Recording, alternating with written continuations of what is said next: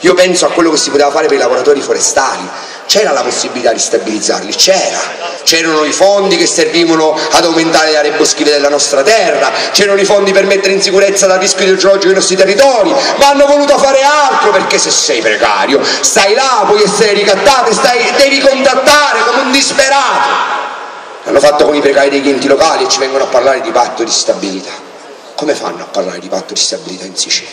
è, è indecente, indegno. Ci dicono che hanno i soldi per stabilizzare i lavoratori e continuano a sperperare il nostro denaro, magari per me, permettere poi a San Martino di far chiamare da un suo servo primario i malati di tumore terminale vanno oltre, vanno veramente oltre.